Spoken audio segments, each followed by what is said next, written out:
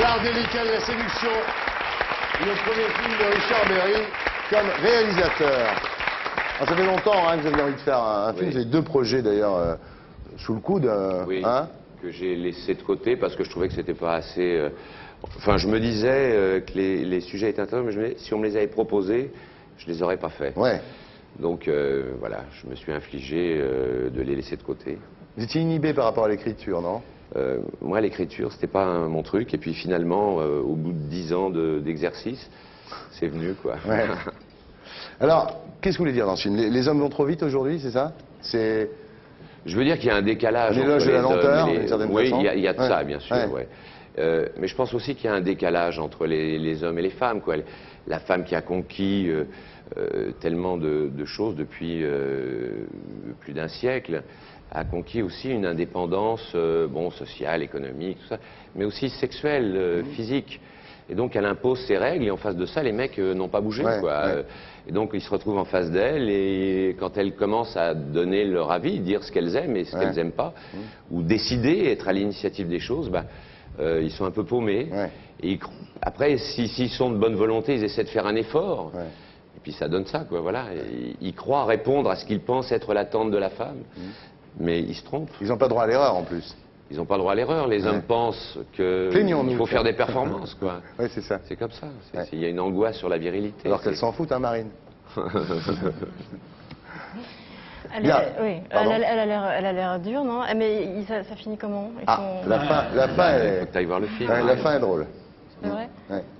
Alors Chabat est parfait hein, en, gourou, euh, en gourou zen. Ouais. Vous dites je respecte le bouddhisme, mais je voulais en dénoncer la récupération mercantile. Maintenant, on te vend du Dalai Lama à tire-larigot. euh, Séverine Ferrer est allée voir le Dalai de- Lama. Voilà, c'est ça. Parce qu'elle avait eu un souci d'amour avec Faudel. Voilà, tout le monde est bouddhiste parce que. vous ne savez pas ça, vous Les pages people, je vous dis, les gars. Quand vous êtes marié, en parlant de page people, quand vous êtes marié à l'île Maurice en 84 avec Jen Manson, vous êtes marié selon le rite bouddhiste ou hindouiste? Je me suis euh, marié sous le rite euh, hindouiste. Alors vous avez une histoire assez étonnante. L'histoire de votre vie est... Non, non, mais sérieusement, c'est assez étonnant, parce que ça commence comme ça.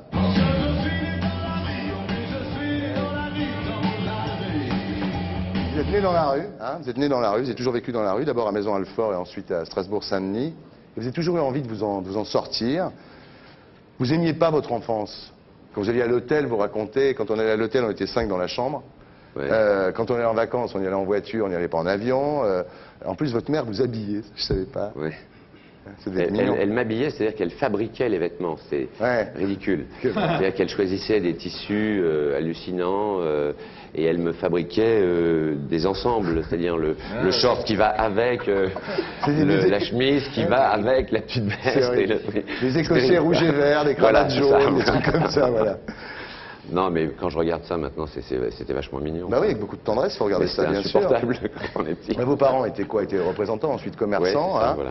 Vous souffrez plus quand vous allez à Boulogne, quand vos parents s'installent à Boulogne, Oui. parce que là, vous êtes à Janson de Sailly, et là, d'un seul coup, vous voyez les, les vrais riches, quoi. Ouais, mais c'est fou, parce que vous savez tout, là. Et là, là ils, ont des, ils ont des voitures, ils ont des motos, Ouais. vous, vous avez un Solex. Ouais. Enfin, à Et la vous fin, oui. Ouais.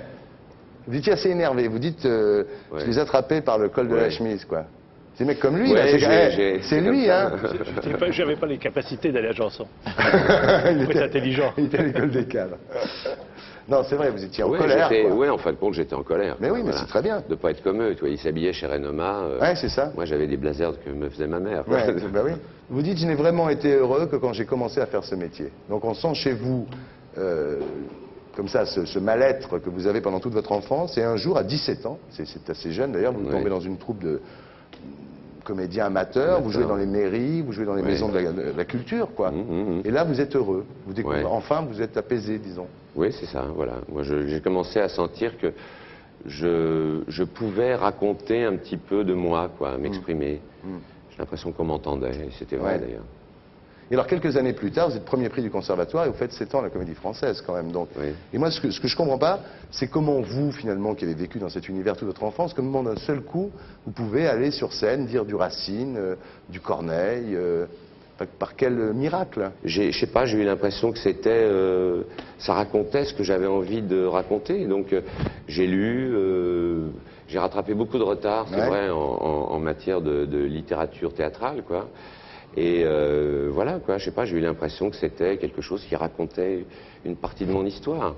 Alors, à l'époque où on s'est rencontrés, vous ai interviewé il y a quelques années, il y a même euh, une bonne dizaine d'années. Ouais. Vous étiez très, vous souffriez beaucoup de votre physique, un peu comme Anconina, comme, euh, comme Boujna, comme Darmon, que vous étiez un peu brun, un peu trop brun, vous en souffriez. Vous acceptez mieux maintenant? Ouais, ouais, ouais, bien sûr. Mieux ouais, bah oui, il vaut À mieux. votre âge, à nos âges. Je suis moins brun. Oui, c'est vrai. Euh, malgré tout, vous avez beaucoup de succès avec les femmes, non Ça va De ce côté-là, ça va pas De mal. ce côté-là, ça va. Donc, tout ça pour dire que vous êtes le client pour une interview Alerte Rose.